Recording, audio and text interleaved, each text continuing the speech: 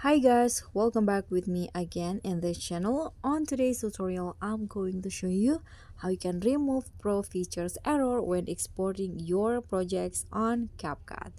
So in here, I've already opened my projects and let's say I want to export this uh, so I'm a pre I'm a user of a CapCut free version. So when I try to export but I use some pro features on my edits you can see CapCut will ask me to join the CapCut uh, pro first before uh, I can export my project. So that's because I use these pro features but I'm not in the pro uh, uh, version yet.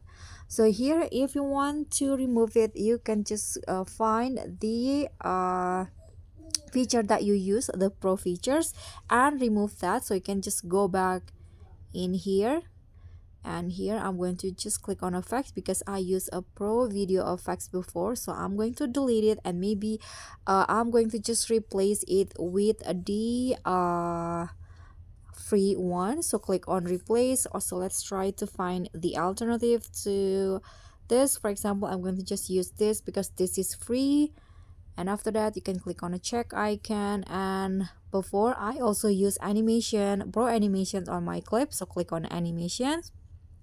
You can see this is the pro one. So i'm going to change it into the free one so let's try to just use the zoom one click on a check icon and you can see the pro will be disappear so this is my projects now and when i try to export now I can easily export it because I'm not using the pro features.